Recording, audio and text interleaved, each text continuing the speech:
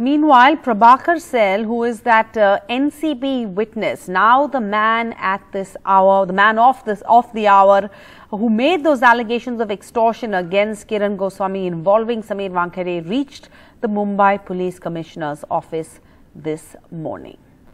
These are visuals of him arriving at the Commissioner's office.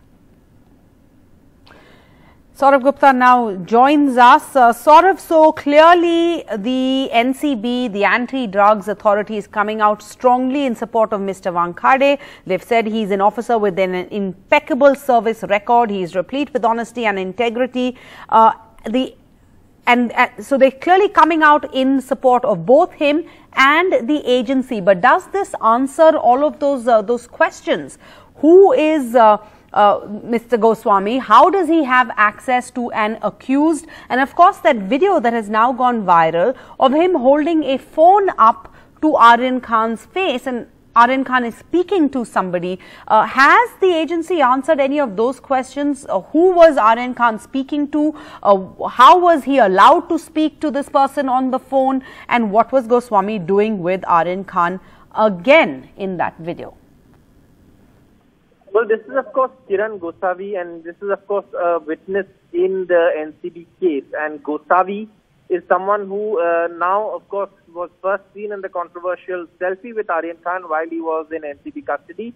And then, of course, in a video that emerged on social media yesterday, he was seen making Aryan Khan talk to an identified person on the phone. Again, while Aryan Khan was, uh, you know, in NCB custody.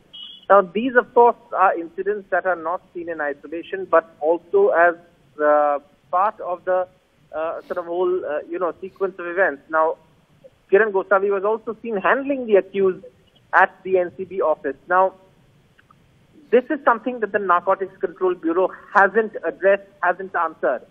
They've, you know, they filed an affidavit in uh, the court, but they've not really clarified on how Mr. Gosavi was allowed to do these things under which law was he allowed to do these things?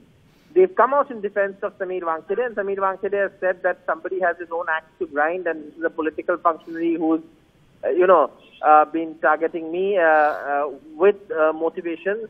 So obviously this is malafide intention and all of that.